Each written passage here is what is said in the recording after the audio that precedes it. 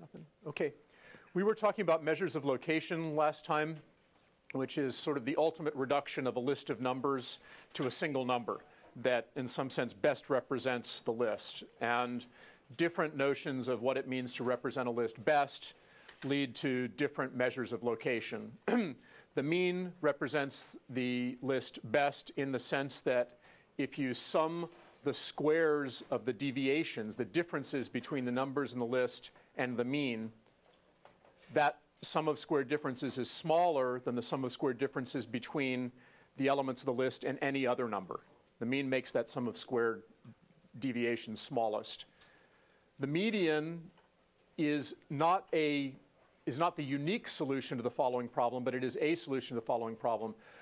What minimizes the sum of the absolute values of the deviations? So the sum of the absolute values of the differences between the numbers in the list and the median of the list is uh, smaller, or at least no, is as small as it can possibly be. Now, the last example we did last time was an example of a gambling game where you roll a die and uh, what you are, you are paid something that sort of decreases the larger the absolute value of the difference between a number that you guess and the number that shows up on the die is. And I said that the median the median would maximize what you get paid. Would, you, you have the least subtracted from what you get paid if you pick the median, if you're trying to minimize the sum of the absolute values. Um, the, the, the, median minimizes that, but any number between 3 and 4 in that example uh, minimizes that. The median is 3. It's one of the minimizers, but they all give the same, all give the same value. The other notion of what's typical for a list is the mode. What the mode minimizes is the number of observations that differ from it at all. Among all numbers that you could pick, the number that minimizes the number of elements in the list that are not equal to it is a mode of the list. And a list can have more than one mode, okay, just the most common value. All right, so those are summaries of what's typical for a list. It's an ultimate reduction of an entire list of numbers to one number. One number is not going to do a very good job of characterizing a long list of numbers. So we want to look at expanding that description with other summaries of the list.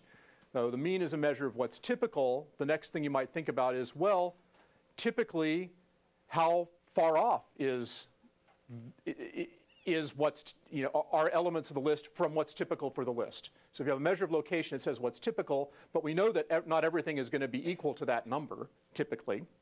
No pun intended there. Um, so the question is, how wrong is it likely to be? How, how unrepresentative of the list is the most representative thing likely to be. And we're going to look at measures of that. Those are measures of spread or variability. They talk about sort of how different, how, how big are differences among the numbers? How much do they tend to differ from what's typical? So why does that matter? Why should you care about the variability of a list? Here's a little hypothetical example. It comes from a, a lovely book by Hooke called uh, How to Tell the uh, Statisticians from the Liars, I believe remembering correctly. So he has a hypothetical example where you have three mechanical golfers. Um, I'm not a golfer, but I understand that the point of golf is to get a low score. Um, so here's golfer one, and golfer one, mechanical golfer, always scores a 72. No matter what happens, always scores a 72. Golfer two, mechanical golfer two, scores a 69 25% of the time, and a 73 75% of the time. Okay? On average, what does golfer do, golfer 2 do? Well, 25% of 69 plus 75% of 73 turns out to be 72 again. So on average, golfer 1 and golfer 2 do the same. Okay, their, their average score is the same. Golfer 3 gets a 70 half the time and a 74 half the time. Again, golfer 3's average is a 72. So if you wanted to summarize how these golfers did by a single number, on average, they're the same. What happens when they play each other? So on average, they're the same. What happens when golfer 2 plays golfer 1?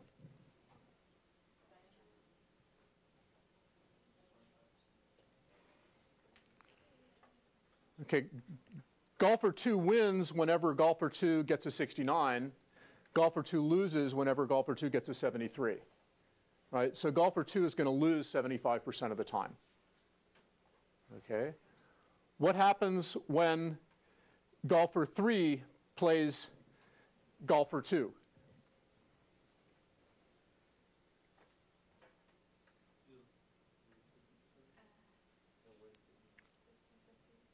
Sorry? 50 50 chance of winning or losing? Is that true?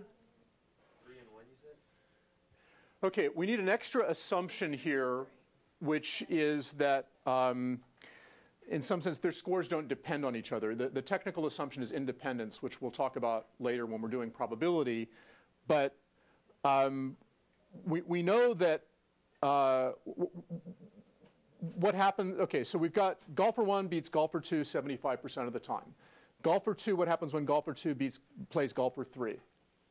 Certainly, whenever golfer 2 gets a 69, golfer 2 wins because that's lower than all of the scores that golfer 3 can get.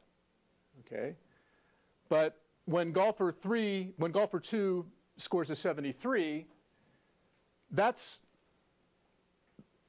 that's still lower than a 74, right? So if, if golfer 3 if golfer 2 gets a 73 and golfer 3 gets a 74, golfer 2 still wins.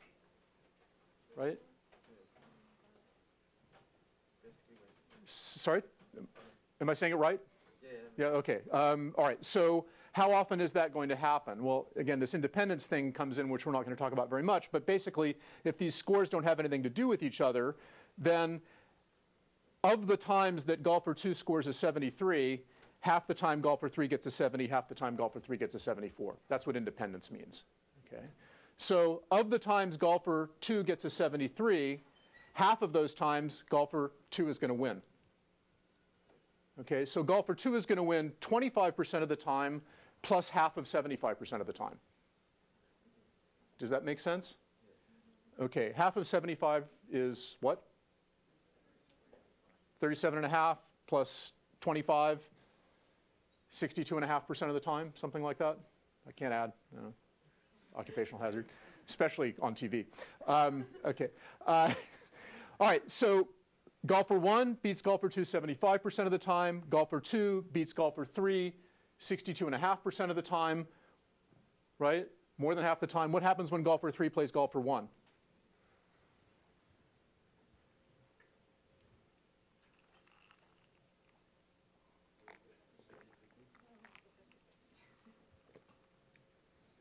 They, they play even, right? Okay.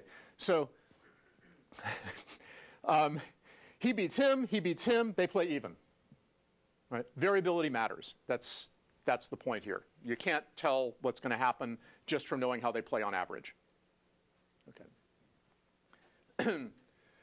All right, so here, kind of pictorially, are histograms of three different fictitious data sets that all have mean and median equal to zero.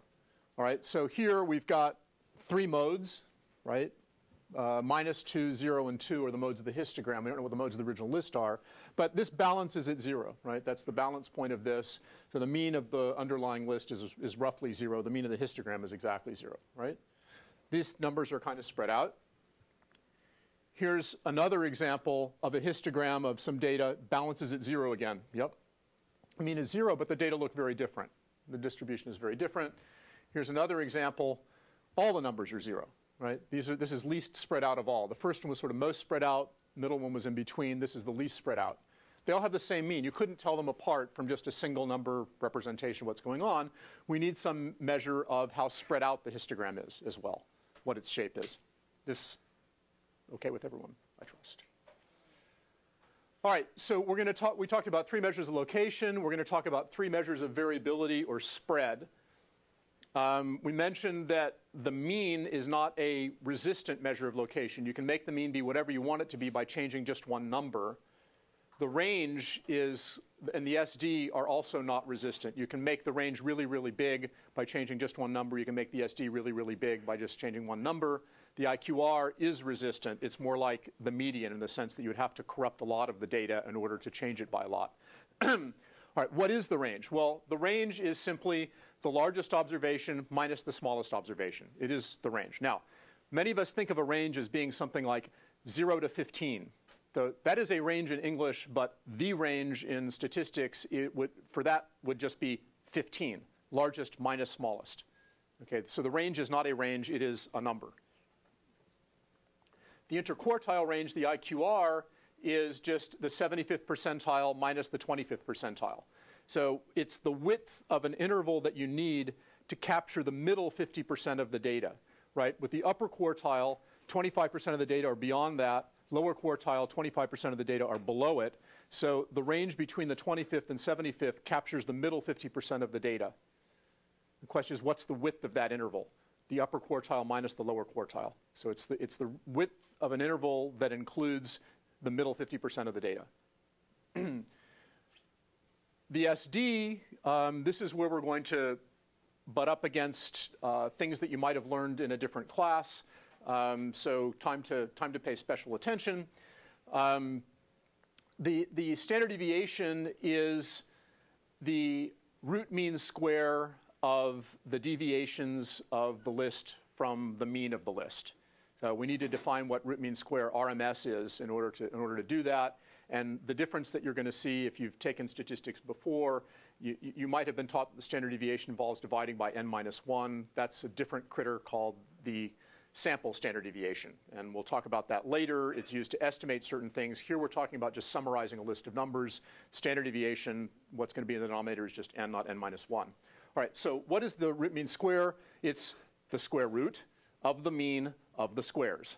Okay, root of the mean of the squares. So if you have a list of numbers, the RMS of the list is how you get it.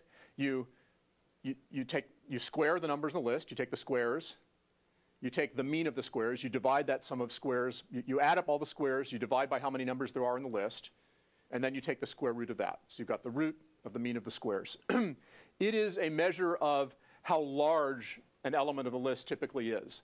Uh, you could have a list of numbers that has a mean of zero, right? If you add all the numbers up, you get zero. You add them all up, divide by n, you get zero. And nonetheless, none of the numbers is zero. The numbers can be quite big in magnitude. Some large positive numbers could balance some large negative numbers and cause the mean to be zero, right? So this is a way of removing the sign from the elements of the list so you get an overall summary of how large they are. It's not the only way of doing that. You could, for example, add the absolute values or average the absolute values of the numbers in the list. Or you could average the fourth powers of the numbers in the list or whatever you want, something to just sort of get rid of the sign so that negative numbers and positive numbers don't cancel each other. This is one way of doing it. It's the root mean square. okay, so just a, you know, a quick, quick example. If we had a list of five data, minus 1, minus 5, 0, 5, 1, um, they are they're written that way. It is obvious that the mean is zero, right? Because the minus five and plus five cancel, the minus one and plus one cancel, leaving all zeros. So the mean of that's going to be zero. Uh, but typically, how big are the elements of the list?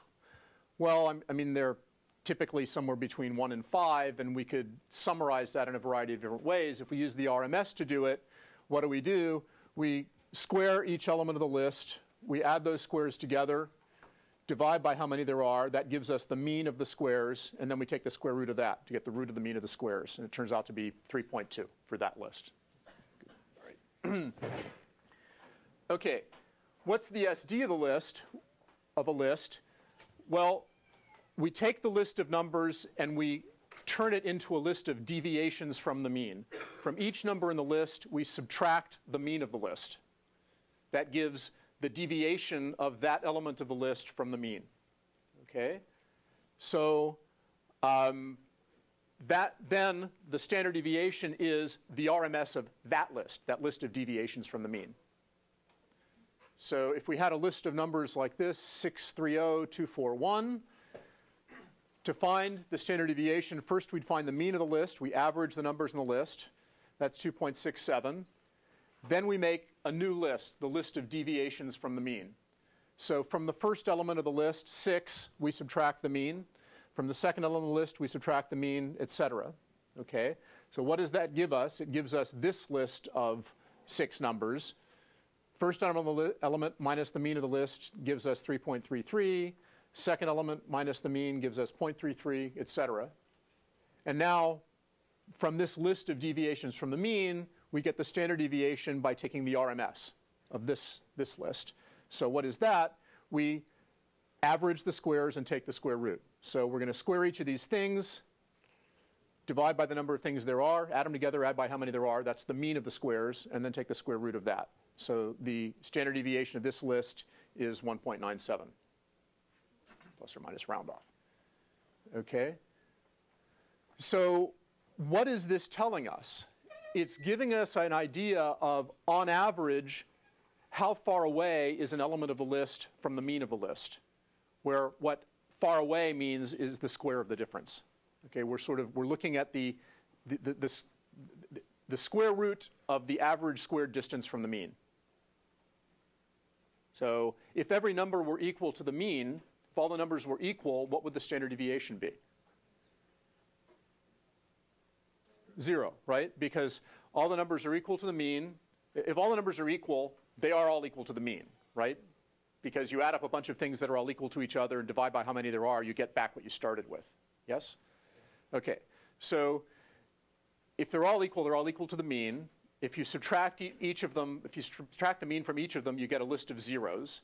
If you square the zeros, you get zero. If you average the zeros, you get zero. And then if you take the square root, you get zero, right? So the standard deviation is going to be zero. Okay, if all the numbers are equal, the SD is zero.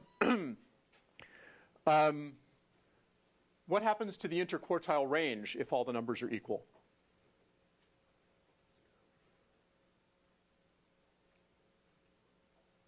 It's, all, it's also zero, right? So if, if, if all the numbers are equal, then the lower quartile is that one value that they all take. The upper quartile is that one value that they all take, and the difference between those two numbers is zero. Yes. If all the numbers are equal, the range is zero as well, right? um, if the interquartile range is zero, does it follow that all the numbers are equal? No. So that's, that's a one-way entailment. If all the numbers are equal, the IQR is zero, but if the IQR is zero, then all the numbers don't have to be equal because it's not telling you what's happening with that lower 25% and upper 25% of the list, right? um, in fact, they could be arbitrarily different. If the range is zero, are all the numbers equal? Yeah, the smallest, the largest minus the smallest is zero. That means they're all, they're all between the same number and the same number. Uh, what about the standard deviation? The standard deviation is zero, are all the numbers equal? Yeah, okay, because when you, when you square the deviations, you only get positive things. So when you add up a bunch of things that, that, are, that can't be negative, if you end up getting zero, then every single one of those things must be zero. So all of the deviations from the mean must be zero. Therefore, all of the numbers must be equal to the mean. Therefore, all the numbers are equal to each other. Right? Okay. Yeah. This one? Isn't this one due Friday? Okay. um, all right. Let's see. Um, okay, affine transformations. Um, measures of location and spread behave in a very predictable way when you, trans when you change units, when you, when you change sort of the units of measurement. Um, a lot of different scales are related to each other by multiplication by a constant and adding a constant. So, for example, uh, the conversion between inches and feet is of that kind. A value in inches is 12 times the value in feet. Uh, conversion between Fahrenheit and centigrade is like that. That the temperature in Fahrenheit is a constant times the temperature in centigrade plus a constant. Okay, conversion, conversion between different units of measurement of the same kind of thing uh, typically behave this way. It's a, you know, it's a constant times it plus a shift. Shift might be zero. A relationship like this is called affine. It's the equation of a straight line. You might have heard of it as a linear relation. In math, linear means something just slightly different. Relation is, is linear if um, a function f is linear if f of x plus y is f of x plus f of y, and f of a constant times x is a constant times f of x. This doesn't satisfy that. Okay, this is, this is, this is linear plus a constant. That's affine. All right. Um, if you change variables so that uh, by an affine transformation, you do a change of units from inches to feet or centimeters to miles or gallons to liters or something like that, that's an affine transformation, then you don't have to recompute the, the, the, the mean, median, mode, range, all, all these things. That there's simple relationships between what the values are going to be in the old units and the new units. Um, so, for example, if you, uh, the, the, mode of the transformed list, you, if you imagine that sort of, you know, here, here's your list of numbers, you are scaling them, you're multiplying them by a constant, and you're shifting them right or left. Okay, what happens to the mode? Well, you just, there is some particular value in the list that is the mode. When you scale and shift, you've just moved that by exactly the same amount. The mode just, it, it, it just moves with the change of variables. Same thing happens to the mean. um, same thing happens to the median if you are multiplying by a positive number. If you're multiplying by a negative number, because the median is the smallest number that's at least as big as 50% of the data, if you multiply by a negative number, you're sort of reflecting the list, right? And so now the smallest number that's at least as big as half the data might shift you by one. Yes, depending on whether there's an odd number of, of points or an even number of points. Um, and depending on whether there's more than one point equal to the median. All right, um, the, the range, if you, the, the range doesn't depend on shifting. If I take, if I add the same number to every element of a list, the range of what I get is the same because I'm adding it to the largest value and I'm adding it to the smallest value. When I subtract them, that shift cancels out. Okay, I'm still just getting the difference between them. Um, so when I, if I multiply the range by a constant and add a constant to it, the effect on the range is simply to multiply the range by the absolute value of the constant. Okay. If I multiply by minus 1, the range is the same. Doesn't change it. Standard deviation behaves similarly because I'm taking the deviations from the mean, if I add the same number to every element of the list, the mean changes by that much, by the same amount. And so when I subtract the mean from the new element of the list, the transformed element of the list, I'm subtracting that shift b. It ends up not changing anything. Um, so the effect on the standard deviation of an affine transformation is to multiply the standard de deviation by the absolute value of that multiplicative constant that you're using. and uh, the interquartile range have the same issue that we do with the median. So if A is positive, then uh, the IQR, the transform list, is just A times the IQR, the old list. If A is negative, you have to, it, it could change a little bit because, again, the 75th percentile and 25th percentile could be a little bit different from what they were because when you reflect it, you might have to go to the next element of the list to capture 25%. Does this make sense? No, excuse me. Any questions?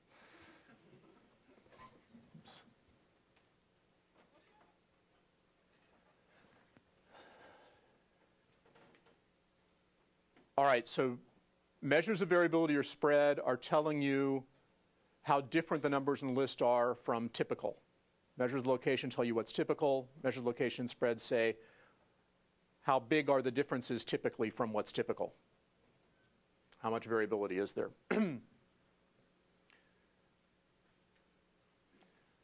okay, this you probably haven't seen before, Markov's inequality and Chebyshev's inequality. Um, these are lovely math facts that hold for lists of numbers. Markov's inequality holds for lists of numbers if, if every element of the list is greater than or equal to zero. Chebyshev's inequality holds for any list whatsoever, um, we're going to come across analogs of these inequalities later on for probability distributions when we get, when we get to probability and random variables. Um, well, let me just let me just talk about what they are. We we, we mentioned when talking about the the mean that uh, you know a light person on a seesaw can balance a heavy person if the light person sits far away from the fulcrum, right? If you sit really far out and the other person is close in, the heavy person is close in, then a light person can balance a heavy one. Well, if we know that um, the, the, the, person on one end can't be any further away from the fulcrum than a certain amount. We know that they've got their back to a wall, basically. That tells us something about how far away a light person could be sitting, or that, that, that if, if a person that were sitting very, very far away weighed very much, this, would, this couldn't balance. This person would be up. Okay? So by, if this person has their back to a wall, then we can learn something about how, how big a person could be sitting how far away and have this still balance. All right, so that, that's what Markov's inequality is telling us. Let's make it quantitative. It's basically this. If, if you have a list of numbers and none of the numbers is negative, and the mean of the list is m, then the fraction of numbers in the list that are greater than or equal to x can't be any bigger than the mean of the list divided by x. And this is true for all numbers, all, all, all, numbers x. It's not very useful unless x is bigger than 1, because otherwise you're saying that the fraction is, uh, you know, the fraction is less, less than something uh, that's bigger than 100%, right? So not, not helpful, okay? um, sorry, it's not useful unless x is bigger than the mean. Otherwise, you're saying that it's less than or equal to something that's not, not helpful. Okay, so this is really turning into math that intuition about if the back's against the wall, then you couldn't have a very big person very, very, very far out because this person it wouldn't balance anymore at the, at the fulcrum. Um, if, you're, if you're interested in how to derive it, there's a, it's in here. All right, when is this useful? Well, if we have, if, if we know that from first principles that some list can't have any negative numbers, and we'd like to get some idea of how many extreme values, how many large values there could be, we can use Markov's inequality to limit that. Okay, we won't know what the exact answer is, but we can get a bound on it. So let's suppose that there's 200 students in a class. Um, on average, they have 15 bucks in their pocket. How many could have $75 or more? Okay, so I'm assuming that nobody is carrying around debt in their pocket, right? That the amount of money in your pocket is at least zero. Yes? So we have a list of 200 numbers that's at, each number is at least zero. We know that the average of the numbers is 15. How many of the numbers could be bigger than 75? Okay. Well, um, to Markov's inequality says the fraction that have 75 or more in their pockets, that's the fraction that's, that's greater than or equal to x, is less than or equal to the mean of the list divided by x, okay, which in this case is 0.2, 20%. 5 times 15 is 75. All right, heuristically, what's going on? I have, I have this seesaw. Here is the balance point, uh, the fulcrum here. This is, this is at $15. And I'm asking how much stuff could be out here above $75. Yep. How do I put as much stuff as possible out here and have this still balance at $15? Okay, is it heuristically clear that I'm going to do that by that there, there, are two things that, that we need to get to get to Markov's inequality. One is the idea that if I want to put as much as possible out here and have it still balance at 15, I should actually put it right here at 75 and not bigger. Because if I put it at someplace bigger than 75, it's going to have even more leverage. Right? So if I put a dollar here, that's going to have less effect on the mean than putting a dollar here. Putting a person here, putting a person there. Does this make sense? Okay. The second thing is that if I want to balance as big a possible weight at 75, and I can't go below zero, then I'm going to put everything that isn't there, I'm going to put over here at zero. Right? That gives it the most ability to balance what's out, what's out there. So I'm going to have something here, and I'm going to have the rest there. Does that make sense? Okay. So that's basically all there is to proving Markov's inequality. I mean, you need to make it rigorous, but what is that going to give us? So we know that whatever is here, what should we, well, let's, let's give it a symbolic name. Um, shall we call it, uh, let's, let's call the fraction that's out here at $75, let's call that f.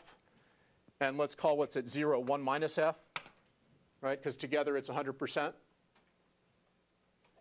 So far, so good.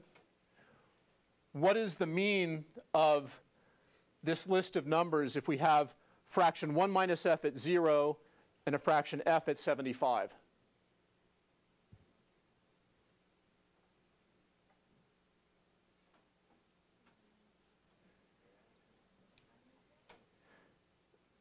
Okay, so the, the, the average of the list, if we want, let, if we want, do we want to give the list a number of elements in order to be talking about a list of numbers rather than a fraction of numbers? Is that to? All right, so let's say that there's n, well, in this case, there's 200 students in all. So there's 200 students spread somewhere on this seesaw. So there's a fraction 1 minus f times 200 are at 0, and f times 200 are at 75. Right? In this most extreme case that allows us to, to put $75 in as many pockets as possible, the way we do that is by putting $75 in a bunch of people's pockets and $0 in everybody else's. Yes? Okay. So what's the mean of this, of this list now? We've got 200 times 1 minus f people at 0 times $0, right? Plus 200 times f people at 75 times $75. Yes? All right, so the mean is equal to 0 times 1 minus f times 200 plus 75 times f times 200 divided by 200. Right? Okay, that's all 0. That cancels that. The mean is equal to 75 times f. Okay, what do we know the mean to be? It's $15, right? So we've got, can you see this? Is this my, am I, on, am I still writing to the audience or is this hidden from people? You'll be able to see it. So 15 is equal to 75 times f. f is equal to 0.2, right? One fifth. That, that's where this number 20% is coming from. That, that's, that's where Markov's inequality is coming from. If I had more than a fifth of the people at $75 or more, with $75 or more in their pockets, there is no way that this thing could balance at $15 without some people having less than nothing in their pockets. And we've ruled that out. Okay?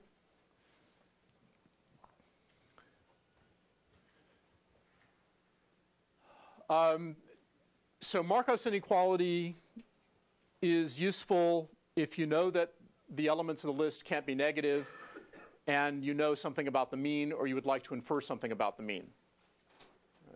Chebyshev's inequality doesn't require that, but it, require, it doesn't require non-negativity, but it requires that you know the standard deviation of the list. So Chebyshev's inequality involves the standard deviation uh, and the mean, and it tells you something about how, how many values can be very far away from the mean, up or down, where very far means a multiple of the standard deviation of the list. So we're going to take a break in like a minute and a half, but before we do, can somebody give me other examples of lists that, are, that have to be non-negative, lists where you can't have any negative values? Height. height. Okay. Nobody can have a negative height. Age. Nobody's, nobody was born before they were born. Sorry. Sorry? Weight. Yeah, weights can't be, can't be negative. Sorry? Unless you fly. Yeah, no. Actually, even things that fly have positive, uh, uh, they just weigh less than. Uh, um, okay, how long you have to wait for something to happen? How long you have to wait for the bus? You, you, you never get to catch a bus that gets there before you did. or leaves before you get there, something like that, right? Or an elevator or something like that. Other examples? Points in a football game, scores, yep. Um, as, is it possible for a penalty to make your score negative in, in those games? I don't know. Uh, I, am missing the team sports gene completely and utterly. I just. Uh, um,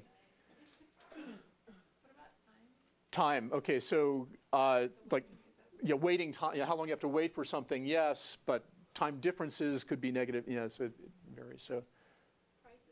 Prices. Rarely are you paid to take something away. Okay, so that's the kind of situation where Markov's inequality might be helpful to have some idea of how large could values be, how many values could be as large or larger than some threshold if you know something about the mean of the list and you know that the list can't have any negative elements. Right. Why don't we take 90 seconds to stretch our legs and come back and do some more.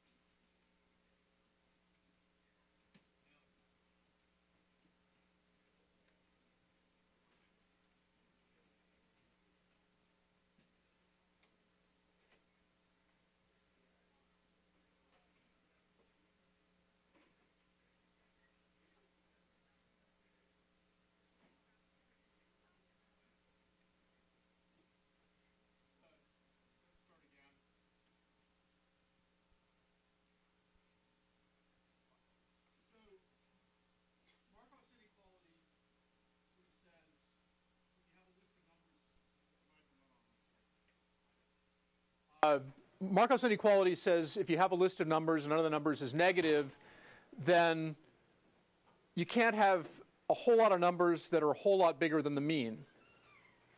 Why? Well, because if you had a whole lot of numbers that were really big, the mean would be bigger, right? It, it sort of it would drag the mean with it. Chebyshev's inequality says if you have a list of numbers, not very many of them can be very far away from the mean, where far away is measured as a multiple of the standard deviation. Why is that? Well, because if they were, the standard deviation would be bigger. So in some sense, making numbers be far away from the mean drags the standard deviation with it, just like making numbers much, much bigger than the mean drags the mean with it. Um, you, you can't have a lot of them there or the mean would have been bigger. You can't have a lot of things far away from the mean or the standard deviation would be bigger. All right, so what does Chebyshev's inequality say?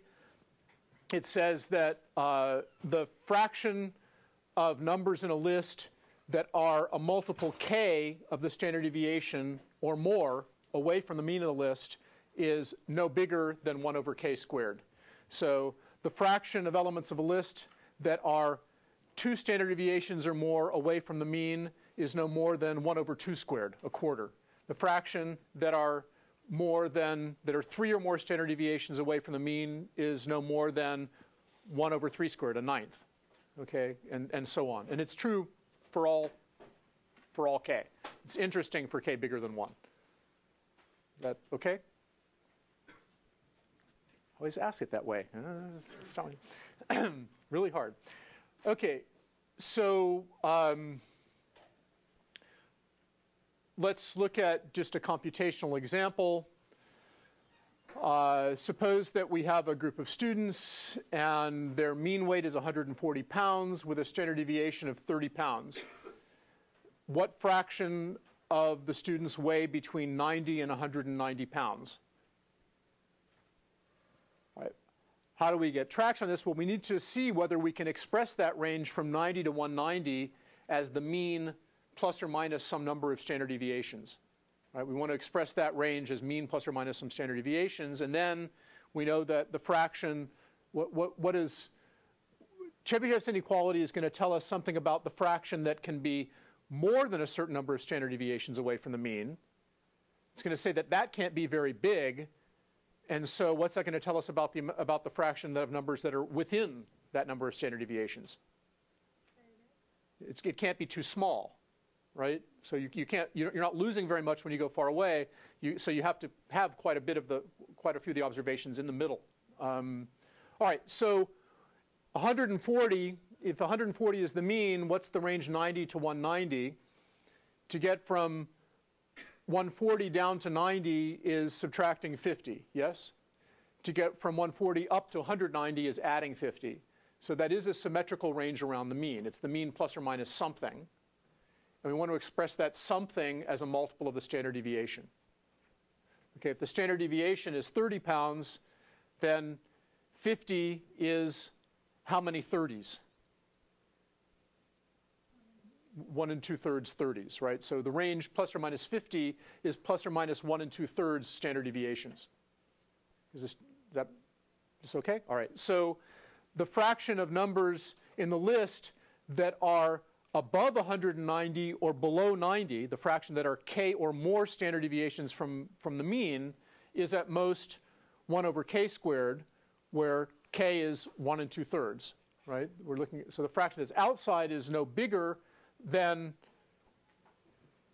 than this ratio, which is 36%.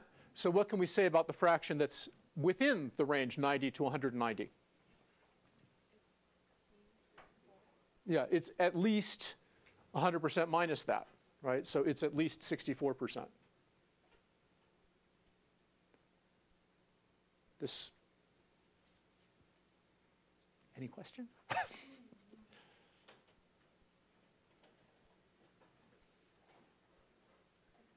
All right. Um, you will often encounter a problem where you can use more than one inequality. And what you, the one that you should use is the one that gives you the sharpest answer. What does sharp mean for an inequality? If you're trying to find an upper bound on something, the smaller the upper bound is, the more informative it is, right? It's sharper. If you're trying to find a lower bound on something, the larger the lower bound is, the more informative it is. Saying that something can't be less than 5 is not as useful as saying it can't be less than 0. Right? So the larger the lower bound, the more informative it is. The smaller the upper bound, the more informative it is. Sharper is another word. There's, I've heard someone define a mathematician as a mathematician is someone who prefers an inequality to an equality. Um, and, and there's actually something to that, that inequalities are somehow much deeper than equations. Equations are just identities. Inequalities are somehow, there's, there's more going on. All right, so here's a particular example of a problem that uh, you can apply both Markov's inequality to and Chebyshev's inequality to, and one's going to give a better answer. And so let's just look at how, how it works out. By the way, people watch any of the construction that was going on on the Bay Bridge and uh, on the, the bridge cam or whatnot? doesn't matter anybody's lifetime.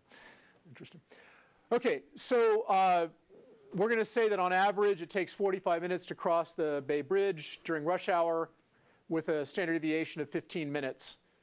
And so we imagine some very long list of travel times, how long it took to cross the bridge. And in this very long list of, of numbers, the average of that list is 45 minutes. The standard deviation of the list is 15. I want to ask, what's the largest fraction of numbers in that list that could be bigger than two hours? Two hours or bigger. Okay. So travel time across the bridge, you never arrive before you leave. So that's a list of, of non-negative numbers, right? Okay. Um, and Markov's inequality says that the fraction of elements of a list, if the list doesn't have any negative elements, fraction that's bigger than some constant is no bigger than the mean of the list divided by that constant. And the mean of the list is 45 minutes. The constant is 2 hours. 45 minutes over 120 minutes is 37.5%. Okay? So Markov's inequality says, and it, you know, it's got to be true, that no more than 37.5% of the elements of that list are bigger than two hours. Okay. Well, we can also apply Chebyshev's inequality to the same problem because we know the mean and we know the standard deviation. So we can figure out what fraction of elements of the list could be really, really big or really, really small. Now, the fraction that are really, really big or really, really small can't be any smaller than the fraction that are really, really big because you're taking the fraction really, really big and you're adding something to it. Can't be negative, right? So if we use Chebyshev's inequality, which says can't have too much stuff out there, and say can't have too much out there means can't have too much up there. That makes sense? We've got, we've got these, the inequalities chain. All right, so first we need to figure out what range of values we're talking about. So two hours is 120 minutes. How many standard deviations from the mean is that? Well, the standard deviation is 15 minutes. To go from 45 minutes to two hours takes five 15 minutes, right? It's 15 minutes times five is, is 75 minutes. 75 minutes plus 45 minutes is two hours. All right? So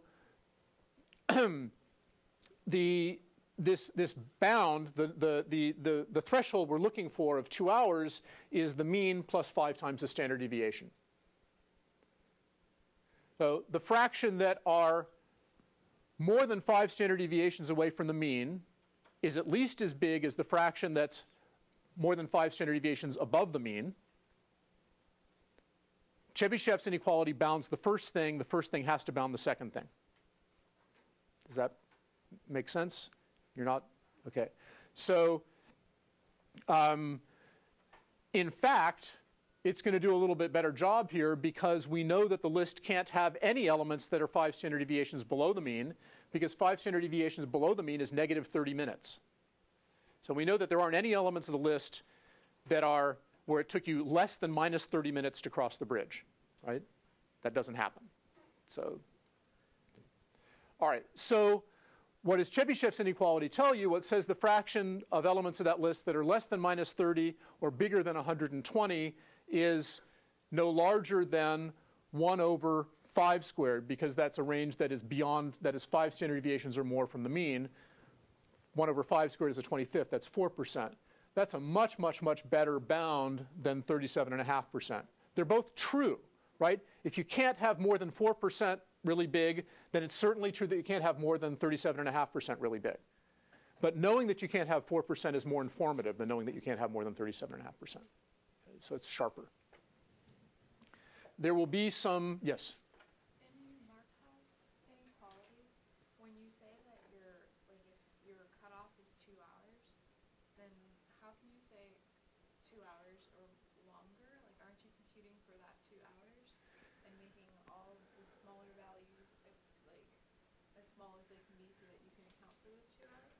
Okay, so the, the question is, in Markov's inequality, aren't you sort of assuming that things are exactly two hours, and so how can you say two hours or more?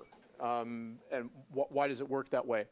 So the, the inequality does this. What it's bounding is what fraction can be two hours or above. And the question is, what makes that as large as possible? And what makes that as large as possible would be if they were all exactly two hours.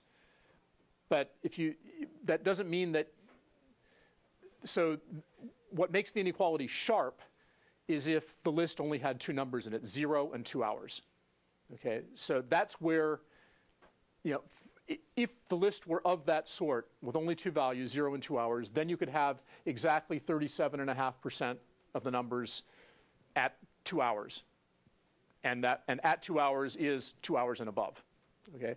For any other list, if you have more than two values, then the amount that you have above two hours is going to be less than 37.5% of, of, of the elements. Okay, so it's still an upper bound, but the way that you get what makes it sharp is if the list only has two elements. Otherwise, there's slack. It would be the, the way it would be said. Okay. Other questions?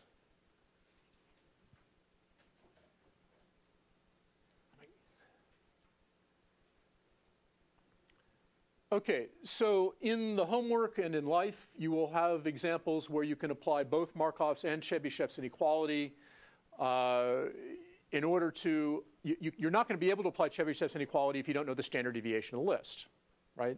You have to know the standard deviation. You're not going to be able to apply Markov's inequality if you don't know that the list only has numbers bigger than or equal to zero.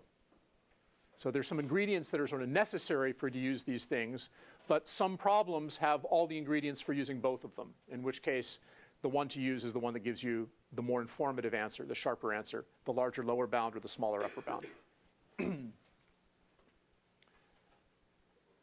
all right. Um, yeah, lifetimes, another example of things that, that can't be negative. Yes? There was a, uh, save my political jokes for when I'm not on the camera. Uh, Okay. Questions about any of this stuff?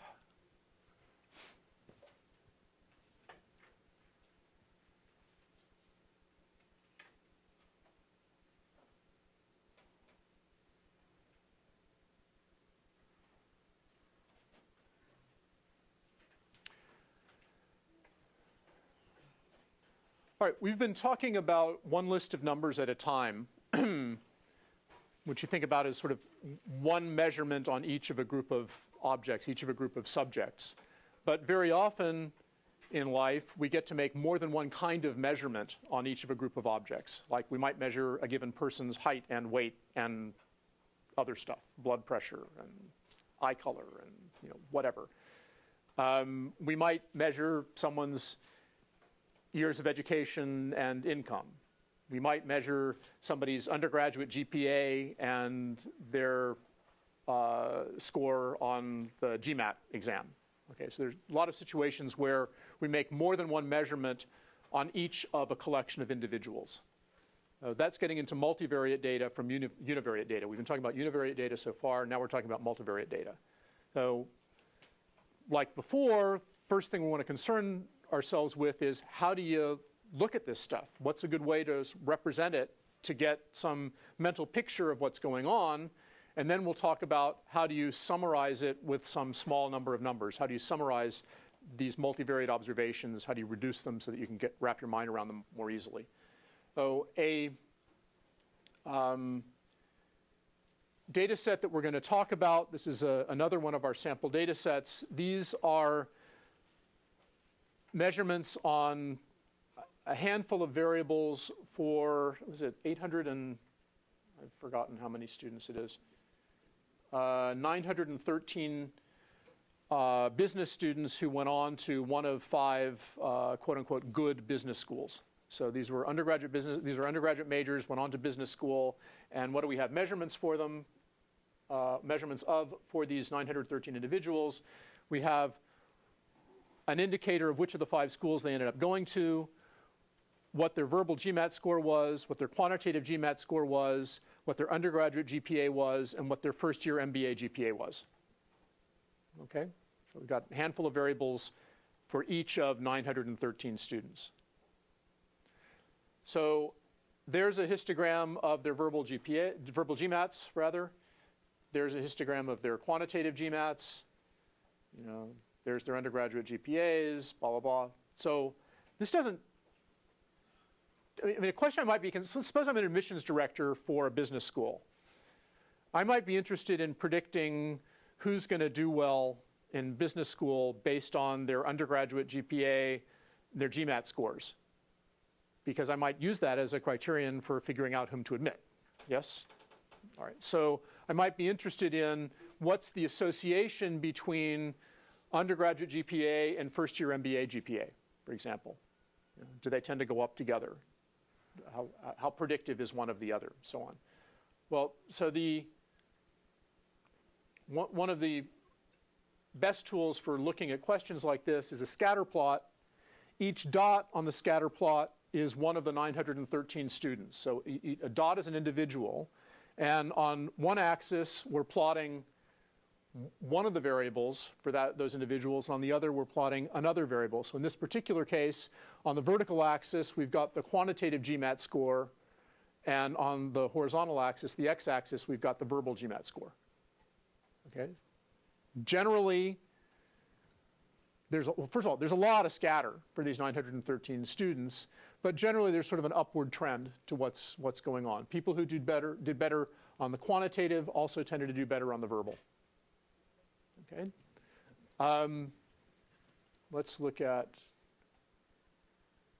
uh, first year MBA GPA versus undergraduate GPA.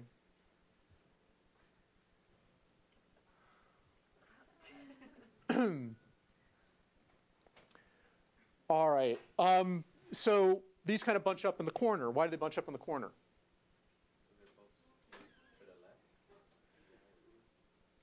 Okay, there's, there's, they're skewed to the left. What, what makes them skewed to the left? Right. How high can you get? Okay, you can get to a 4. students going to one of five good business schools, are they going to be closer to a zero GPA or closer to a four GPA? Yeah, okay. So you got people who are, you know, coming very close to maxing out the rating scales, and some of them aren't. Many of them are. And then some of them drift off to the left. So you have this skew to the left that, that, that you, were, you were talking about. All right? Again, generally a bit of a positive trend, I would say, right? That sort of uh, you you have well, I mean, you got some low values on on both. Um, all right, let's let's play with this a little bit.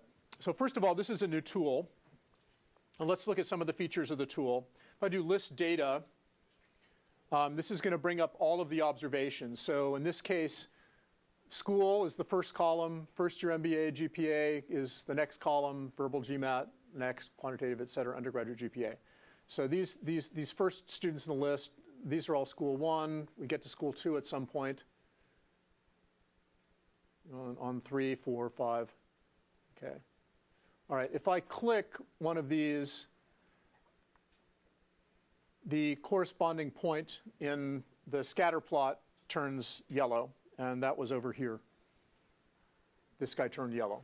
If I unclick him, he'll turn back blue again. Okay, somebody else is yellow now. All right.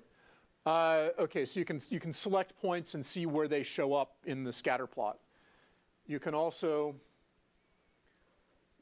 plot univariate, univariate statistics for these things, summary statistics. So for the variable for the for the verbal GMAT, there are 913 cases. That's the mean standard deviation, smallest, largest, median, upper quartile, maximum, lower quartile, median, quartile, maximum. Okay, and and you get that for all all the variables in the data set. So you, you're not going to have to go through a list of however many baseball salaries again by hand and pick out the maximum, right? That's that was that was to remind you that software is helpful. Um, Okay, so first of all, who's this?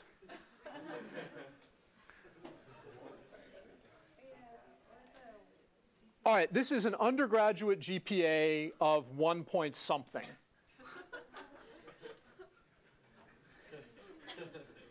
right? And the person got into one of five good business schools. There are a number of hypotheses that present themselves at this juncture.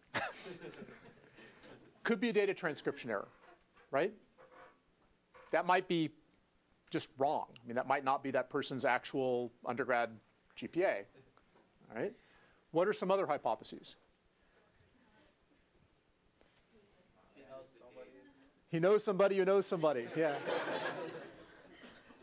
His last name is Haas. No. Um, Uh, what are some other hypotheses? Yeah. Okay, they might have done really, really good on tests. So let's let's probe that. Okay, so um, what do we know? We know that this the, that the the undergraduate GPA is down around one point something. All right, so undergraduate GPA is this rightmost column. So let's see if we can find the one. Holler if you see it.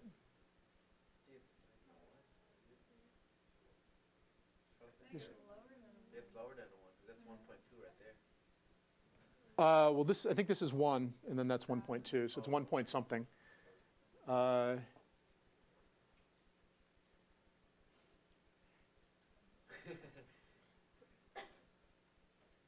find this person. There it is. There it is. All right, okay, there they are. All right, so let's look at what their other scores were.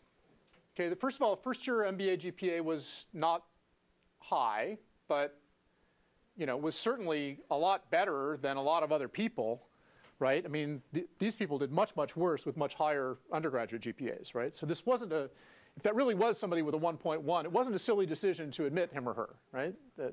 A posteriori. um, okay, so 33 So now we've got this person selected and we can actually change the variables that we're displaying. So let's look at what their verbal GMAT score is. Okay, verbal GMAT score was, okay, this red square here is called the point of averages. And the coordinates of that point are the average of what's being plotted on the x-axis versus the average of what's being plotted on, plotted on the y-axis. Okay, it's not, an, it's not a datum, it's the averages. Okay, so this person ended up, this person did a little below average on the verbal GMAT. So exceptional verbal GMAT score is not the explanation. How about quantitative GMAT? Again, roughly average on the quantitative GMAT. So good hypothesis, but data says no. All right? Didn't, didn't blow the doors off the exams. Right. Another hypothesis. He has a lot of money. He donated some money. Do donated some money for the school, bought, bought their way in. Okay, it's certainly possible. All right? Um, could be a student who has been out of school for some time, working in the world, you know, is a VP somewhere and wants to go back and get an MBA. Okay, so there could be a very big time lag between so that the undergraduate GPA is just not relevant factor anymore. Yeah, that, there, there are people like that. Um, could have phenomenal letters of recommendation. We don't have any data on the letters of recommendation here, right? Something could have gone wrong in one semester in that student's career, and the, the overall GPA might not be a good measure of how that student actually did. They might have done phenomenally well their senior year and all their upper division classes, so forth and so on. They just had a really lousy freshman year and sophomore year and half the junior year. Yeah. um, um, okay, but you get the idea that we can start probing some of these questions from a display of data like this. That's, that's kind of where we're, where we're trying to go. Now, um, there's a lot of scatter in these data. You really can't do a very good job of predicting, so, for this list, these 913 students, you can't do a very good job of predicting what their first year MBA GPA is going to be from any of these other variables because the scatter in a strip, we look at a particular slice through here, right? These are all the people now whose undergraduate GPA was between 2 and 2.2, right? We look at a slice there. Their first year MBA GPAs are kind of all over the place, right? Look at a slice over here between, say, 3.6 and 3.8. On average, they're doing a little better than those who are down there, but they're still all over the place. Right? There's an awful lot of scatter in the data, this variable is not doing a very good job of helping us predict what the other variable is going to be. So if that's the case, why should an admissions officer care what your undergraduate grades are?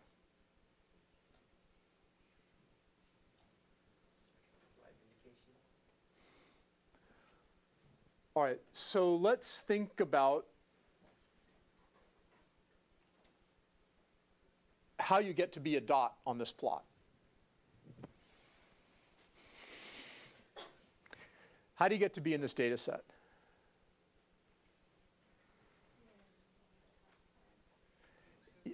Yeah, you had to have gotten into one of those top five business schools, five high quality business. It's not the top five, but it's sort of five good business schools. Um, okay? So that decision was based in part on these variables and your letters of recommendation and your personal statement and a whole bunch of other things, right? So if you get in at all, it's because they think you're going to do well, right? You have already gotten in in order to end up on this plot. Yes?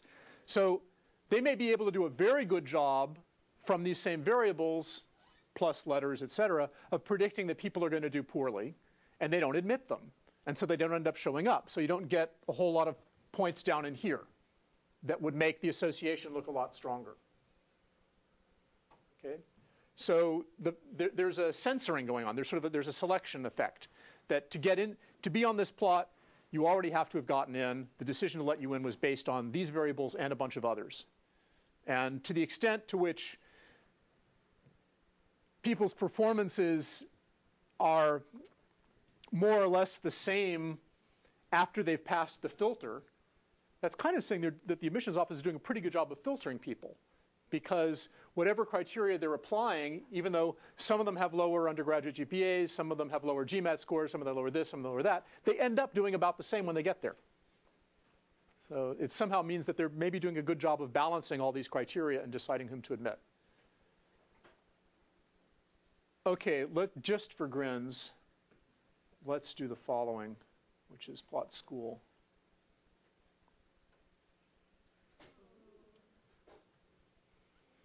Okay, so the claim is that these are five quote unquote good schools, but their average, let me plot it the other way around. Let's plot undergraduate. If I do undergrad GPA versus undergrad GPA, what am I going to see? Straight line, right? Okay.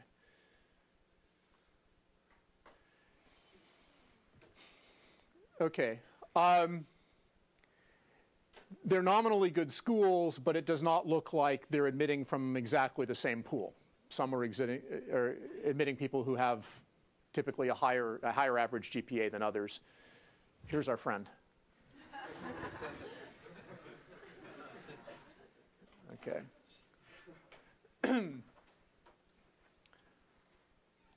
All right, uh, another feature of this thing that you need to be aware of is if you mouse over something, you can read off the coordinates here.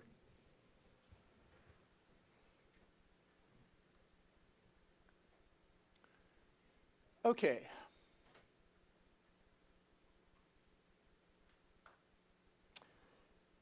So um, we're now going to talk about qualitative features of multivariate data sets, excuse me, that you can read off of a scatter plot. You can infer from the scatter plot. So this is an example of something we would call something we would call a football-shaped scatter plot. L roughly speaking, the data are shaped like a cigar. Okay, they fill a, a you know sort of oblong region in in in this space. Um, the scatter in any vertical strip is about the same. There's no obvious curvature going on. Um, it's, it kind of follows a, you know, it's scattered around a straight line, and the scatter in different slices is about the same. this is best case scenario for doing regression. Right? This scatter plot shows nonlinear association. The data are not just sort of evenly scattered around a straight line, they're sort of scattered around something that curves in a very pronounced way. Okay. This is an illustration of heteroscedasticity. Hetero means different, scedasticity, scatter. So this, these data have different scatter depending on where you take a vertical slice through. Here, the, the scatter is small. Here, the scatter is large, heteroscedastic. Football-shaped scatter plot is linear and homoscedastic. Those are the two features that make it football-shaped. Okay, linear association, homoscedasticity. In this case, the, the first you know, thing, the nonlinear association, that was still homoscedastic. This is now linear but heteroscedastic. linear association, heteroscedastic. Okay, this is an example of an outlier. Okay, what's an outlier? Well, it's a point that is very different from the bulk of the data, very far away in some sense. What is the outlier? It might be real. It might be an error. You might need to worry about what to do with it. it might, usually outliers call for additional investigation, but you don't automatically throw them away. Okay, they can, there can carry a lot of information. All right, this is a different sort of outlier. So here, this point is kind of in the range of values of x, but for other values, it, it sort of is, follows a very different pattern. The data all follow a pattern. This is off the pattern.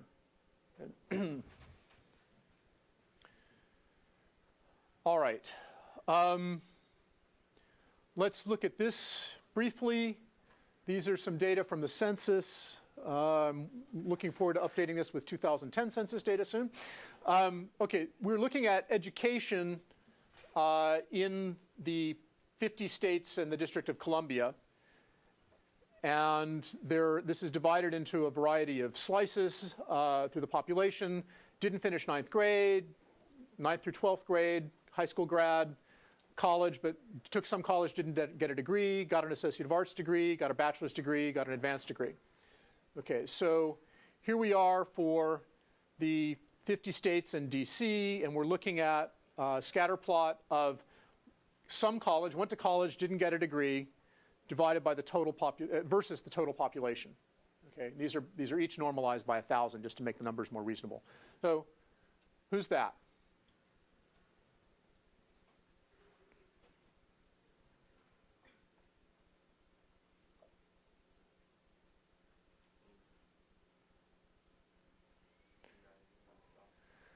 These are so there's how many how many points are here? 51, right? 50 states plus District of Columbia. Which state has the largest population?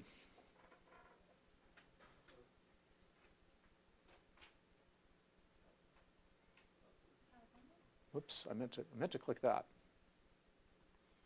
Okay, that's us, right? We're the biggest. Okay. okay. Um, are these data linear? They follow. They, they follow. Have linear association. Yeah. Generally, this is. You know, if you put it, you could you could pretty much put a straight line through this. You think you'd underestimate that a little bit. Okay. Are they homoscedastic or heteroscedastic?